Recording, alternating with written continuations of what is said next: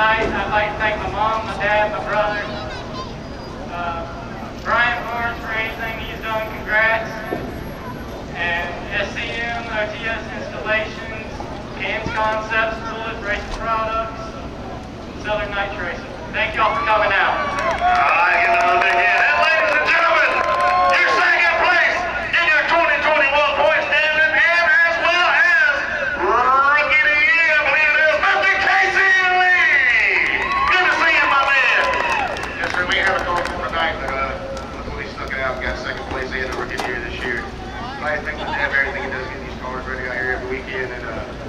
Mike from Minnesota Restoration.